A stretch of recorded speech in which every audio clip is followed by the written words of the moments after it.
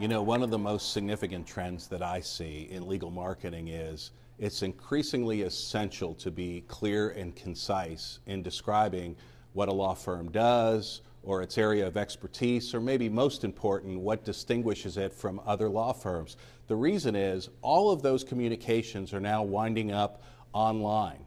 Now, here's the good news there is so much sameness on the internet that if a firm can enhance its brand, if it can really strongly describe how it's different from other firms, that'll really stand out. And going forward, you know, another good element to this is that the filter has been eliminated. In the old days, you might need a reporter or an editor to tell your story for people to believe it, but now you can self publish. And if you can do a good job of really describing what you do and how you do it, that will be very persuasive.